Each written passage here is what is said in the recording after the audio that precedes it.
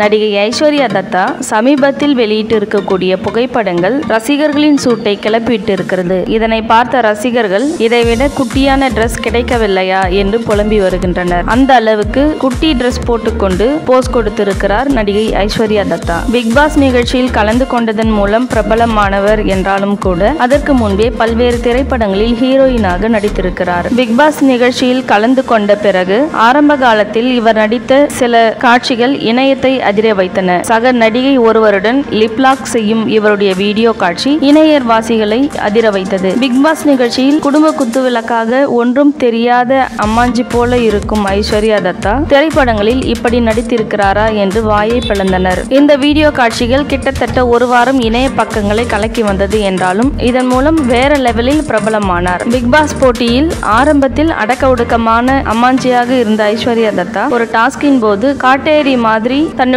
சுயரூபத்தை வெளிப்படுத்தினார். இன்னும் சொல்லப்போனால் இவர் அமைதியாக இருக்கும் பொழுது பல இயக்குனர்கள் தயாரிப்பாளர்கள் இவருடைய உண்மையான குணம் இது கிடையாது. இவர் நடித்துக் கொண்டிருக்கிறார். இவர் உண்மையான குணமே வேறு என்று கூறி வந்தனர். அதற்கேற்றாற்போல் நாட்கள் செல்ல செல்ல தன்னுடைய குணத்தை குணாதிசயத்தை மாற்றிக்கொண்டு ரசிகர்கள் மத்தியில் மிகப்பெரிய கெட்ட பெயரை வாங்கினார் ஐஸ்வர்யா தத்தா. பிக் பாஸ் நிகழ்ச்சிக்கு பிறகு இவருக்கு பட வாய்ப்புகள் கிடைக்கும் என எதிர்பார்க்கப்பட்டது. ஆனால் போதிய ரசிகர் வட்டாரம் இவருக்கு இல்லாத காரணத்தால் பட வாய்ப்புகள் கிடைக்கவில்லை. ஆனாலும் தொடர்ந்து பட வாய்ப்புக்காக முயற்சி செய்து வரும் இவர் இணைய பக்கங்களில் கிளாமர் ராணியாக வலம் வந்து கொண்டிருக்கிறார். அந்த வகையில் தற்போது தன்னுடைய அத்தனை அழகும் அம்சமாக தெரியும் விதமான உடலோடு ஓட்டிய உடை அணிந்து ரசிகர்களின் தூக்கத்தை கெடுத்து இருக்கிறார் அம்மணி.